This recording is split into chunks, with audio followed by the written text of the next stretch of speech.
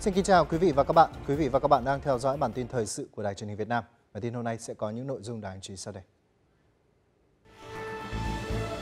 Chủ tịch nước Võ Văn Thưởng dự chương trình Xuân Biên phòng ấm lòng dân bản và tham gia một số hoạt động chăm lo cho bà con vùng biên giới nhân dịp Tết sắp đến. Thủ tướng Phạm Minh Chính và phu nhân cùng đoàn đại biểu cấp cao chính phủ Việt Nam đã đến thủ đô Bucharest, bắt đầu thăm chính thức Romania. Thủ tướng Phạm Minh Chính là một trong 8 lãnh đạo có phiên đối thoại riêng với Diễn đàn Kinh tế Thế giới, thể hiện vị thế ngày càng đi lên của Việt Nam tại diễn đàn này. Thưa quý vị, trong chuyến công tác tại tỉnh Kiên Giang, Chủ tịch nước Võ Văn Thưởng cùng nhiều lãnh đạo Đảng, Nhà nước đã dự chương trình Xuân Biên giới ấm lòng dân bản và tham gia một số hoạt động chăm lo bà con vùng biên giới nhân dịp năm mới Xuân Giáp Thìn 2024. Trao quà tặng bà con có hoàn cảnh khó khăn vùng biên giới, Chủ tịch nước Võ Văn Thưởng tin tưởng những món quà như căn nhà mới, con bò giống, túi quà, cân gạo hay chiếc bánh trưng đến với đồng bào trong dịp Tết cổ truyền là những món quà ý nghĩa, là sự quan tâm, động viên thiết thực, tràn chứa nghĩa tình. Nhấn mạnh quan điểm con người là trung tâm của quá trình phát triển, không để ai bị bỏ lại ở phía sau. Đảng, Nhà nước đã có nhiều chủ trương chính sách và huy động sự tham gia tích cực của toàn hệ thống chính trị để chăm lo cho công tác này. Chủ tịch nước Võ Văn Thưởng hoan nghênh bộ đội biên phòng đã có nhiều mô hình, hoạt động có ý nghĩa như máy ấm cho người nghèo nơi biên giới, hải đảo, nâng bước em tới trường, nuôi con, đồn biên phòng, khiến hình ảnh bộ đội cụ Hồ, thầy thuốc, thầy giáo quân hàm xanh ngày càng trở nên quen thuộc và gần gũi đối với người dân nơi biên giới và cả nước. Mỗi dịp Tết đến, xuân về, chương trình lại rộn ràng trên khắp các vùng biên giới hải đảo là một minh chứng sống động về tình đoàn kết quân dân,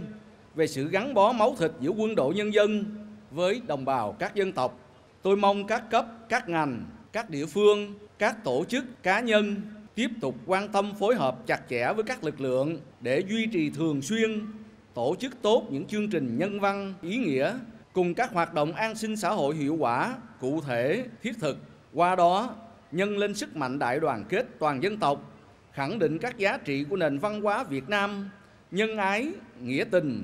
với niềm tin, ý chí, quyết tâm xây dựng và bảo vệ vững chắc Tổ quốc thân yêu. Thăm chúc Tết cán bộ chiến sĩ đồn biên phòng cửa khẩu quốc tế Hà Tiên, Chủ tịch nước lưu ý cán bộ chiến sĩ tạo thuận lợi để người dân, hàng hóa hai nước được giao thương, giao lưu thuận tiện, thúc đẩy thương mại và giao lưu nhân dân, hiệp đồng với các lực lượng khác, động viên bà con tích cực tham gia phong trào bảo vệ biên giới, xây dựng đường biên giới hòa bình, hợp tác và phát triển. Chủ tịch nước cũng yêu cầu mỗi cán bộ, chiến sĩ bộ đội biên phòng cần quan tâm hướng dẫn nhân dân xây dựng tổ đội đánh bắt an toàn, vừa thực hiện tốt yêu cầu sinh kế, vừa góp phần giữ gìn, bảo vệ, phát triển môi trường nuôi trồng thủy sản. Bên cạnh đó, lực lượng bộ đội biên phòng phải dựa vào nhân dân, kịp thời nắm bắt tình hình, giải quyết kịp thời các phát sinh, vướng mắc, không để bị động, bất ngờ trong mọi tình huống. Trước đó, Chủ tịch nước Võ Văn Thưởng đã tới thăm và tặng quà ông Trương Tấn Sĩ, thương binh nặng tại phường Bình An, thành phố Hà Tiên. Trong chuyến thăm chính thức Hungary vào chiều tối ngày 20 tháng 1, Thủ tướng Phạm Minh Chính và phu nhân đã đến thăm Trung tâm Thương mại Thăng Long ở thủ đô Budapest. Trung tâm Thương mại Thăng Long có diện tích hơn 44.000 m2, gần 1.000 quầy hàng, là trung tâm thương mại đầu tiên và lớn nhất do người Việt Nam đầu tư quản lý, vận hành tại Hungary. Đây cũng là trung tâm buôn bán đầu tiên của người Việt đạt tiêu chuẩn châu Âu. Gặp gỡ bà con tiểu thương và thăm các gian hàng, Thủ tướng Phạm Minh Chính ân cần hỏi thăm đời sống và công việc làm ăn, kinh doanh của bà con, bày tỏ vui mừng về kết quả hoạt động của trung tâm và những thành công của người Việt Nam trên đất nước Hungary, góp phần thúc đẩy hiện thực hóa các thỏa thuận hợp tác giữa hai nước, nhất là trong lĩnh vực kinh tế, thương mại, đầu tư. Nhân dịp này, Thủ tướng truyền lời thăm hỏi của Tổng Bí thư Nguyễn Phú Trọng đến toàn thể cộng đồng người Việt Nam ở Hungary, trong đó có bà con tiểu thương tại Trung tâm Thương mại Thăng Long, nơi Tổng Bí thư đã đến thăm năm 2008. Bà con rất xúc động trước tình cảm, sự quan tâm của Tổng Bí thư, trân trọng nhờ Thủ tướng chuyển lời thăm hỏi, chúc sức khỏe đến Tổng Bí thư. Thủ tướng mong muốn và tin tưởng cộng đồng người Việt, trong đó có bà con tiểu thương luôn đoàn kết, phối hợp, hỗ trợ lẫn nhau trong hoạt động kinh doanh và đời sống. Quản lý trung tâm thương mại khoa học, thông minh, hiệu quả, đảm bảo an toàn, hỗ trợ quảng bá và đưa sản phẩm Việt Nam tiếp cận thị trường Hungary nhiều hơn nữa. Qua đó góp phần thúc đẩy thương mại hai nước sớm đạt 2 tỷ đô la Mỹ trên năm. Thăm Trung tâm Thương mại Thăng Long cũng là hoạt động cuối cùng kết thúc tốt đẹp chuyến thăm chính thức Hungary của Thủ tướng Phạm Minh Chính. Và ngay sau đó, Thủ tướng và Phu Nhân cùng đoàn đại biểu cấp cao chính phủ Việt Nam đã rời Hungary đến thủ đô Bucharest, bắt đầu thăm chính thức Romania theo lời mời của Thủ tướng Ion Marcel Siolacu. Bộ trưởng Bộ Kinh tế, Doanh nghiệp và Du lịch Romania đã đón Thủ tướng Phạm Minh Chính và Phu Nhân cùng đoàn Việt Nam tại sân bay. Chuyến thăm lần này là hoạt động trao đổi đoàn đầu tiên ở cấp Thủ tướng Chính phủ giữa hai nước sau 5 năm, nhằm làm sâu sắc hơn nữa quan hệ hữu nghị truyền thống Việt Nam Romania, tạo động lực thúc đẩy hợp tác song phương trên các lĩnh vực thế mạnh của hai nước, góp phần tạo thuận lợi hơn nữa cho quan hệ Việt Nam với EU. Hoạt động đầu tiên của Thủ tướng và Phu Nhân là tới thăm cán bộ nhân viên Đại sứ quán Việt Nam và đại diện cộng đồng hơn 600 người Việt tại Rumani. Bà con bày tỏ xúc động trước sự quan tâm chăm lo của Đảng, Nhà nước với cộng đồng người Việt Nam ở nước ngoài. Tự hào trước những thành tựu ấn tượng và vị thế ngày càng cao của đất nước trong khu vực và trên thế giới. Tại cuộc gặp, Thủ tướng trân trọng chuyển lời chào thân ái, lời thăm hỏi và chúc mừng tốt đẹp của Tổng Bí thư Nguyễn Phú Trọng tới cộng đồng người Việt Nam tại Rumani nói riêng và tại châu Âu nói chung. Thủ tướng nhấn mạnh quan hệ hữu nghị truyền thống và hợp tác nhiều mặt giữa hai nước trong gần 75 năm qua không ngừng được các thế hệ lãnh đạo và nhân dân hai nước quan tâm vun đắp, phát triển tích cực. Thủ tướng cho biết khi xem lại những hình ảnh Bác Hồ đến Rumani vào năm 1957, Thủ tướng thấy rất xúc động trước tấm lòng, tình cảm đặc biệt của nhân dân Rumani đối với Bác Hồ với Việt Nam. Thủ tướng bày tỏ vui mừng khi thấy cộng đồng người Việt Nam tại Romania ngày càng vững mạnh, đoàn kết, rất yêu thương nhau. Đề nghị bà con tiếp tục phát huy truyền thống và làm cầu nối ngày càng vững chắc trong quan hệ hai nước. Liên quan đến việc quản lý lao động người Việt ở Romania còn nhiều bất cập,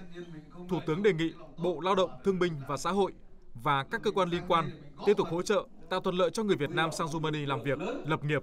cũng như giả soát, quản lý chặt chẽ hơn các công ty xuất khẩu lao động và nâng cao hơn nữa chất lượng đào tạo lao động Việt Nam ra nước ngoài làm việc.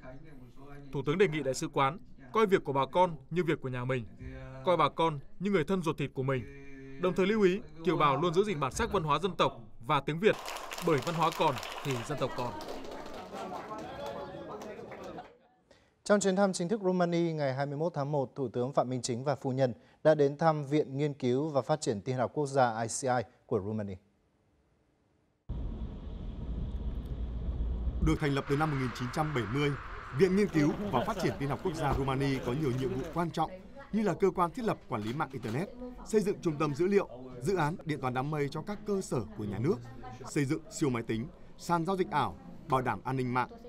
Tổng Giám đốc Viện bày tỏ vinh dự được đón Thủ tướng Phạm Minh Chính đến thăm và mong muốn đẩy mạnh hợp tác với Việt Nam trong các lĩnh vực công nghệ thông tin, đổi mới sáng tạo. Tại cuộc làm việc, Thủ tướng Phạm Minh Chính chia sẻ về quan hệ truyền thống tốt đẹp giữa hai nước sau gần 3 phần tư thập kỷ thiết lập quan hệ ngoại giao, về sự giúp đỡ, hỗ trợ quý báu của Romania với Việt Nam trong công cuộc đấu tranh giành độc lập dân tộc, xây dựng và phát triển đất nước. Thủ tướng cho biết, Việt Nam đang tập trung phát triển trung tâm đổi mới sáng tạo quốc gia, đề nghị Romania hợp tác với Việt Nam trong lĩnh vực này. Đây cũng là một động lực tăng trưởng giúp hai nước phát triển nhanh, bền vững. Thủ tướng nêu rõ, trở ngại lớn nhất của hai nước là khoảng cách. Tuy nhiên, công nghệ thông tin, trí tuệ nhân tạo, đổi mới sáng tạo, điện toán đám mây, xây dựng cơ sở dữ liệu lớn sẽ không bị ảnh hưởng bởi trở ngại này trong thời đại thế giới phẳng hiện nay. Nhất là hai quốc gia đều có tiềm năng, điều kiện thuận lợi như nền toán học phát triển, nguồn nhân lực công nghệ thông tin cũng dồi dào. Thủ tướng nhấn mạnh, lòng tin chiến lược giữa hai nước đã có sẵn thì không có gì là không thể hợp tác được với nhau.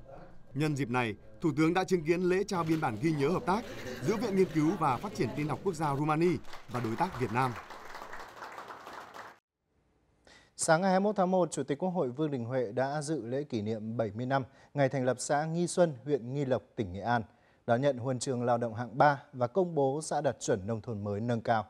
70 năm qua, xã Nghi Xuân, huyện Nghi Lộc đã nỗ lực vươn lên, đổi mới, nâng cao đời sống vật chất tinh thần cho người dân. Hiện tỷ lệ hộ nghèo của xã giảm còn 0,79%, thu nhập bình quân đầu người đạt 65 triệu đồng một người một năm, tỷ lệ tham gia bảo hiểm y tế đạt hơn 95%. Nhân dịp này, Chủ tịch Quốc hội Vương Đình Huệ cũng đã trao tặng 200 xuất quà Tết trị giá 200 triệu đồng cho các gia đình chính sách, hộ gia đình khó khăn của huyện Nghi Lộc. Thăm huyện Yên Thành, Chủ tịch Quốc hội đã trao 200 xuất quà Tết cho các gia đình chính sách, người có công với cách mạng, gia đình có hoàn cảnh đặc biệt khó khăn, đồng thời trao những phần quà tặng các bậc cao niên tròn 70 và 75 năm tuổi Đảng của huyện.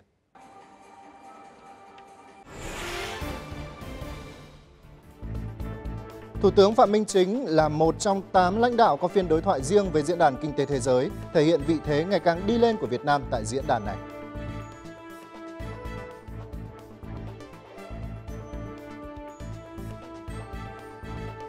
Việt Nam nỗ lực cải thiện để tiếp tục thu hút và giữ chân dòng vốn FDI trước bối cảnh cạnh tranh với các quốc gia trong khu vực. Vừa rồi là các thông tin đáng chú ý sẽ có trong phần điểm báo quốc tế tối hôm nay. Và sau đây xin mời quý vị đến với những phân tích cụ thể qua phần trình bày của biên tập viên Thúy Linh. Xin mời chị. Vâng, xin cảm ơn biên tập viên Thế Anh. Thưa quý vị, trong hai ngày 16 và 17 vừa qua, Thủ tướng Phạm Minh Chính cùng đoàn đại biểu cấp cao Việt Nam đã có các hoạt động dày đặc tại Hội nghị thường niên Diễn đàn Kinh tế Thế giới năm 2024 tổ chức tại Davos, Thụy Sĩ. Hội nghị năm nay có chủ đề Rebuilding Trust, tái thiết lòng tin và Việt Nam là một trong 9 đối tác được WEF đề xuất phối hợp tổ chức đối thoại chiến lược quốc gia với WEF. Thủ tướng Phạm Minh Chính là một trong 8 lãnh đạo các nước có phiên đối thoại riêng với WEF. Điều này đã thể hiện sự quan tâm, ghi nhận và đánh giá cao của WEF cũng như của các tập đoàn đa quốc gia đối với vai trò, vị thế quốc tế, những thành tựu và tầm nhìn phát triển của Việt Nam. Một trong những điểm nhấn của Diễn đàn Kinh tế Thế giới WEF năm nay là đối thoại chiến lược quốc gia Việt Nam với chủ đề Chân trời phát triển mới, thúc đẩy chuyển đổi số, mở ra các động lực tăng trưởng mới tại Việt Nam. Phiên đối thoại có sự tham dự trực tiếp của giáo sư Klaus Schwab, nhà sáng lập kiêm chủ tịch WEF, 100 lãnh đạo, đại diện quốc gia, tổ chức quốc tế, các tập đoàn, doanh nghiệp là thành viên của WEF. WEF nhận định Việt Nam là một trong những nước được cộng đồng doanh nghiệp quan tâm nhất tại hội nghị lần này – và tin rằng Việt Nam sẽ tiếp tục duy trì tăng trưởng tích cực theo hướng bền vững hơn, đóng góp và có vai trò ngày càng quan trọng với kinh tế toàn cầu. Việt Nam đã thể hiện cam kết đổi mới và cải cách, có những chính sách thúc đẩy các động lực tăng trưởng mới như kinh tế xanh, các giải pháp thông minh, năng lượng tái tạo, các chính sách thúc đẩy hợp tác công tư giúp Việt Nam phát triển hạ tầng kỹ thuật số, khuyến khích đầu tư cho chuyển đổi số, các chiến lược tận dụng cách mạng công nghệ 4.0. Việc Thủ tướng Việt Nam trực tiếp tham gia diễn đàn kinh tế tại Davos thể hiện Việt Nam coi trọng việc xây dựng lòng tin và hợp tác quốc tế và cơ chế đa phương. Thủ tướng Phạm Minh Chính đã để lại ấn tượng sâu sắc tại diễn đàn với lối tranh luận thẳng thắn, cởi mở, cho thấy tiếng nói quan trọng của Việt Nam tại các cuộc thảo luận. Nhưng không chỉ có tiếng nói, Việt Nam cũng là một nước tiên phong trong thực hiện các sáng kiến, góp phần thúc đẩy các quốc gia khác cùng tiến lên phía trước. Trang Nikkei Asia dẫn lời của Thủ tướng Thái Lan Srettha Thavisin về tầm nhìn biến các quốc gia Đông Nam Á thành một điểm đến cho khách du lịch và thu hút sự quan tâm của quốc tế tại cuộc họp thường niên của Diễn đàn Kinh tế Thế giới. Thủ tướng Thái Lan đề cập cụ thể đến sự hài hòa các ưu đãi thuế, cho phép di chuyển xuyên biên giới không cần thị thực và cân bằng các lĩnh vực khác và thỏa thuận du lịch bốn quốc gia một điểm đến giữa Campuchia, Lào, Thái Lan và Việt Nam là cách tiếp cận lý tưởng để đạt được mục tiêu giúp Đông Nam Á trở thành điểm đến tương tự như khối Schengen tại châu Âu. Các cuộc thảo luận tại diễn đàn kinh tế năm nay cũng thảo luận về những vấn đề xung đột trên thế giới khiến kinh tế bị ảnh hưởng và chuỗi cung ứng đứt gãy. Theo trang Reuters, các lãnh đạo doanh nghiệp ở Davos cho biết họ đang chuẩn bị các kịch bản để bảo vệ chuỗi cung ứng và giảm bớt tác động tiềm tàng từ các cuộc khủng hoảng địa chính trị bất ngờ. Takashi Minami, tổng giám đốc điều hành của Suntory, tập đoàn đồ uống nội địa lớn thứ hai Nhật Bản cho biết mọi công ty Nhật Bản đều đang nghiêm túc xem xét sự phụ thuộc quá mức vào một chuỗi cung ứng vì quá rủi ro và chuẩn bị cho kế hoạch chuyển dịch chuỗi cung ứng tới Ấn Độ hay Việt Nam. Việc tập trung sản xuất hay tập trung nguyên vật liệu ở một khu vực nhất định đang là một vấn đề. Điều này sẽ giảm sức chống chịu của nền kinh tế. Vậy câu trả lời rất rõ ràng, chúng ta cần đa dạng hóa chuỗi cung ứng những quốc gia như Việt Nam có môi trường thuận lợi để đầu tư và nhiều doanh nghiệp thậm chí còn nhìn thấy trước điều này. Chuyến đi của Thủ tướng đã đưa ra thông điệp rõ ràng về một Việt Nam an toàn, nền kinh tế khỏe mạnh, thân thiện với các nhà đầu tư. Tuy nhiên, vẫn còn một số trở ngại cần phải tháo gỡ để Việt Nam trở nên hấp dẫn hơn trong xu thế kinh tế xanh của thế giới.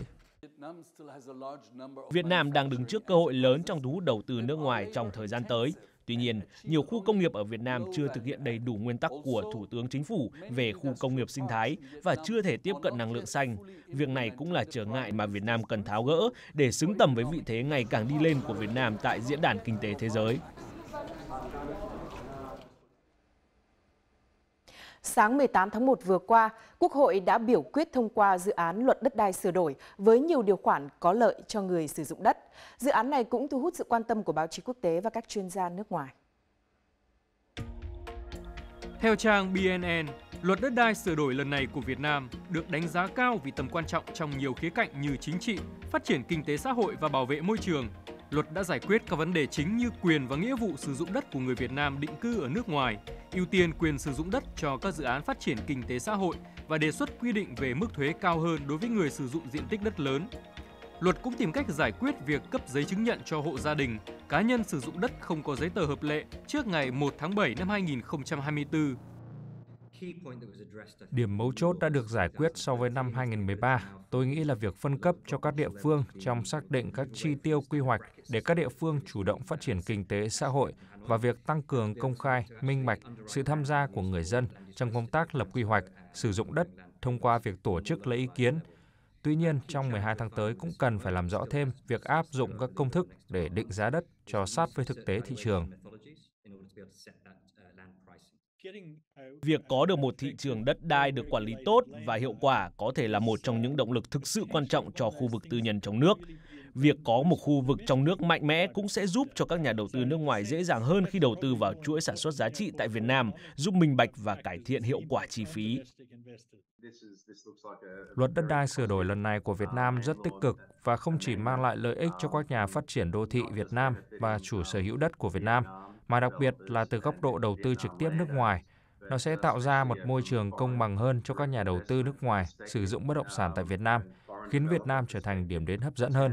Luật sửa đổi cũng giải quyết các vấn đề quan trọng liên quan đến việc xác định giá đất, chiến lược và giá khởi điểm của đất, loại bỏ mức giá cố định 5 năm, sẽ loại bỏ nhiều hoạt động đầu cơ trong quá khứ. Luật đất đai sửa đổi lần này cũng bao hàm nhiều sửa đổi liên quan tới xã hội, đặc biệt đối với người nông dân.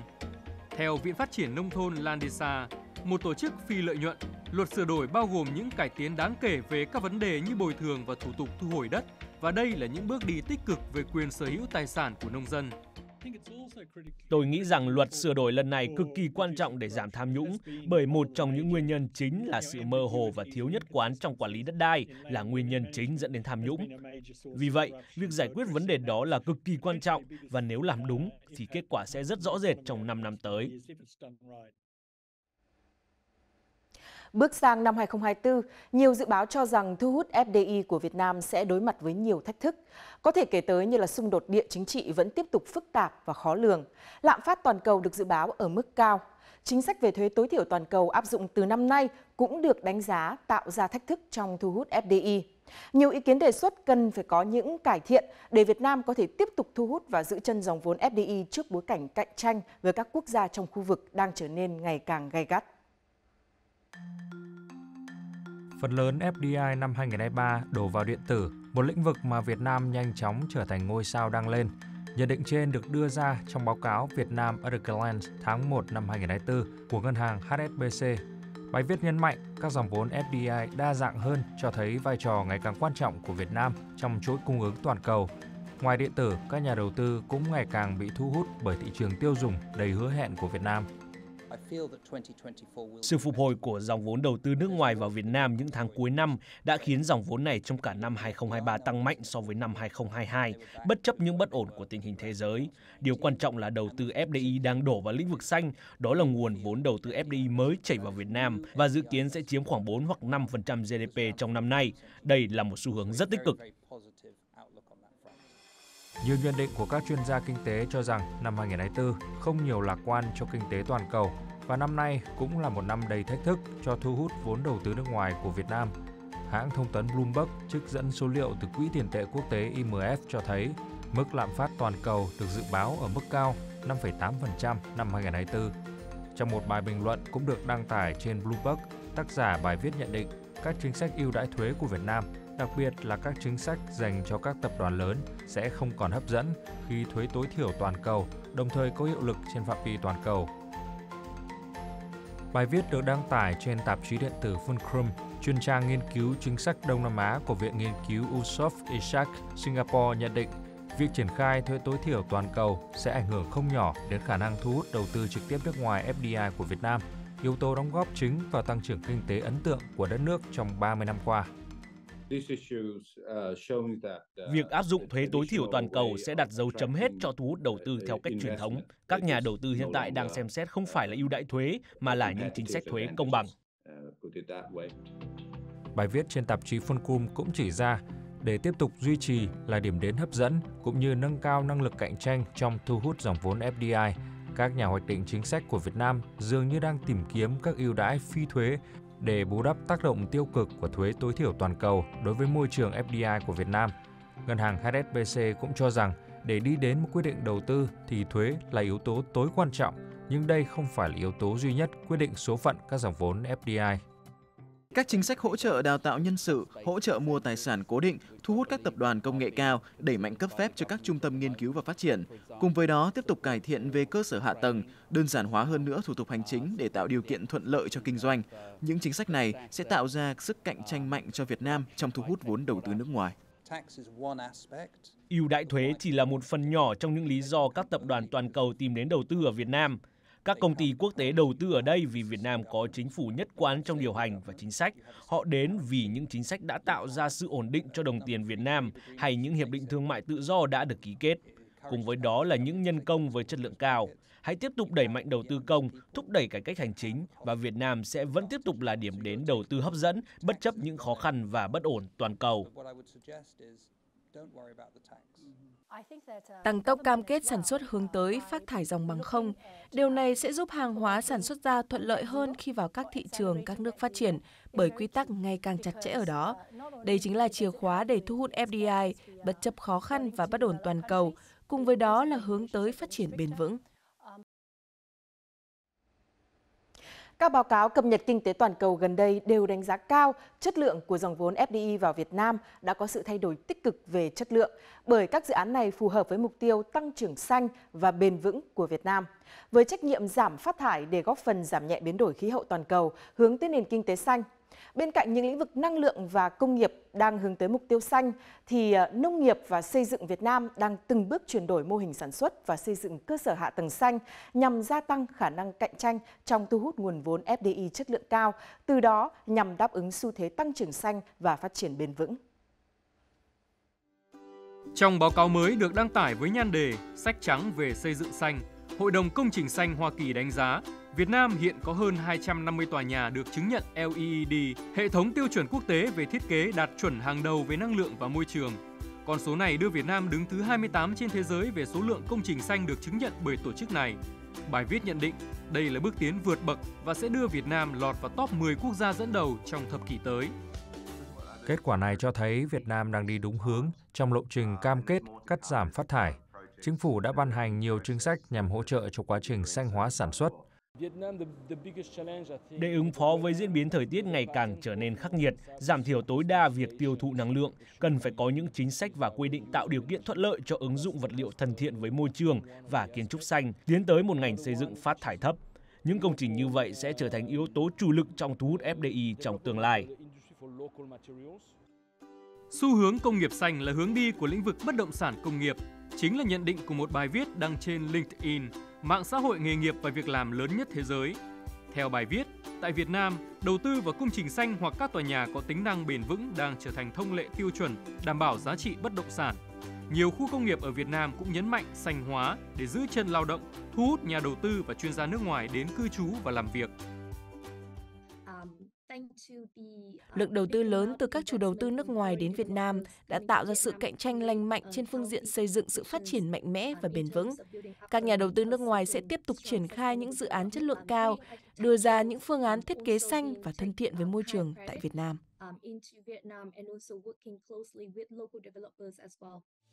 Còn đối với lĩnh vực nông nghiệp, Tổ chức tư vấn đầu tư của Indonesia đưa ra nhận định lĩnh vực bền vững của Việt Nam đang là một khoản đầu tư thuận lợi nhờ các chính sách hỗ trợ của chính phủ và nhu cầu ngày càng tăng của người dân đối với các hoạt động thân thiện với môi trường. Trong đó, nhu cầu thực phẩm hữu cơ sẽ tăng trưởng với tốc độ 20% từ năm 2022 đến năm 2028. Với nhu cầu tiêu dùng ngày càng tăng và điều kiện thuận lợi cho đầu tư bền vững, Việt Nam mang đến cơ hội hấp dẫn cho các nhà đầu tư nước ngoài quan tâm đến nông nghiệp bền vững. Nhiều quy định đang được ban hành ở châu Âu dựa trên nền nông nghiệp xanh hơn. Ví dụ điển hình nhất là quy định về phá rừng của Liên minh châu Âu, cấm bất kỳ sản phẩm nào có nguồn gốc từ các khu vực tàn phá rừng được nhập khẩu vào châu Âu.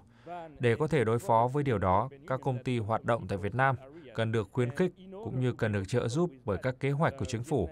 Mô hình cho vay ưu đãi đối với hoạt động nông nghiệp bền vững cần được nhân rộng, hướng tới một tương lai tăng trưởng xanh cho Việt Nam. Bài viết trên trang Việt Nam Briefing cũng cho rằng với cam kết mạnh mẽ của chính phủ trong việc thúc đẩy nông nghiệp và sự tham gia ngày càng tăng của khu vực tư nhân vào lĩnh vực này, triển vọng của ngành nông nghiệp Việt Nam rất hứa hẹn. Các công ty phải lấy tính bền vững làm trọng tâm trong kế hoạch chiến lược của họ, bởi vì tính bền vững có nghĩa là bạn đang thực sự làm việc để đảm bảo rằng một tương lai bền vững. Và với những chính sách thuận lợi tại Việt Nam, tôi tin rằng thu hút đầu tư vào nông nghiệp bền vững là rất khả quan. Ấn phẩm sách trắng năm 2024 do Hiệp hội Doanh nghiệp châu Âu tại Việt Nam Eurocharm cho rằng khi Việt Nam ngày càng ưu tiên phát triển bền vững, các chiến lược đầu tư xanh đang nổi lên trong các lĩnh vực như năng lượng tái tạo, cơ sở hạ tầng thân thiện với môi trường và nông nghiệp bền vững. Điều này phù hợp với động lực phát triển bền vững toàn cầu và mang lại triển vọng đặc biệt cho các nhà đầu tư đang đóng góp vào và khai thác các sáng kiến xanh. Như nhiều định chế tài chính nhận định, với khả năng ứng phó khéo léo với các thách thức từ bên ngoài và tăng trưởng kinh tế bền vững nhờ chính sách quản trị hợp lý và cơ cấu dân số thuận lợi, Việt Nam ngày càng được công nhận trên trường quốc tế. Dòng vốn FDI tiếp tục gia tăng năng lực sản xuất, lĩnh vực sản xuất của Việt Nam sẽ có dấu hiệu phục hồi, mang lại cơ hội cho lĩnh vực xuất khẩu. Tuy nhiên, đặt trong bối cảnh thế giới năm nay, dự báo nền kinh tế toàn cầu tiếp tục tăng trưởng chậm để có sự bứt phá mạnh mẽ thì rõ ràng không phải là điều dễ dàng tiếp tục tập trung vào chính sách tài khóa, thúc đẩy việc phát triển cơ sở hạ tầng như một nguồn động lực chính cho tăng trưởng kinh tế hay tập trung phát triển các lĩnh vực xanh và bền vững. Tất cả đều phải cần được tập trung triển khai một cách đồng bộ và toàn diện. Phần trình bày của tôi đến đây cũng xin được kết thúc à, và xin mời à, biên tập viên Thế Anh trở lại với các nội dung khác của bản tin. Vâng, xin được cảm ơn phần trình bày của biên tập viên Thùy Linh. Và bản tin thời sự xin được tiếp tục với các thông tin đáng chú ý khác.